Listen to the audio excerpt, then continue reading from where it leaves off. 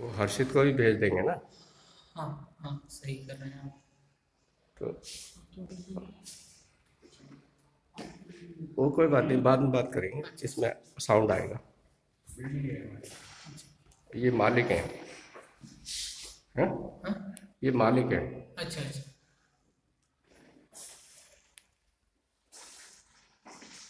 इसमें दिखाना।